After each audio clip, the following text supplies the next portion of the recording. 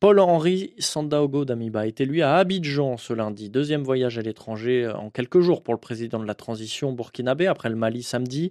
Il a été reçu par Alassane Ouattara, avec au menu des discussions la coopération sécuritaire et économique, mais aussi le calendrier de la transition burkinabé, Pierre Pinto. Début juillet, la CDAO et la junte burkinabé étaient parvenus à s'entendre sur une durée n'excédant pas 24 mois pour organiser des élections. Abidjan tient donc à s'assurer que ce calendrier sera respecté, comme l'a indiqué Alassane Ouattara. Au niveau de la CDAO, nous avons considéré que le Burkina faisait beaucoup d'efforts devait continuer d'être soutenu et que nous euh, devrions faire en sorte que vous puissiez établir un calendrier de la transition qui soit raisonnable et c'est ce que vous avez fait. Et bien évidemment, la fin de ce processus doit être euh, des élections démocratiques le moment venu et nous vous faisons confiance quant à votre euh, décision de respecter les engagements que vous avez pris. Rassurez-vous, ce délai sera bien respecté, répond en substance Paul-Henri Sandao Godamiba. Les engagements pris au niveau de la CDAO